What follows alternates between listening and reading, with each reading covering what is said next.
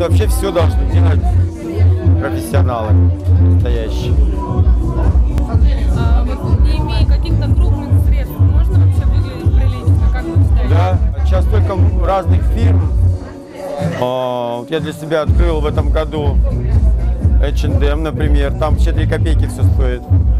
Просто цены приличные. А в принципе в H&M одеваются практически все звезды. Бекхэм. Там очень много людей. И другие, там я не буду их просто озвучивать. И раньше была проблема вообще как-то одеться, потому что ничего не было. А сейчас проблема, сейчас все есть. Уже все просто есть. И как одеться, когда все есть.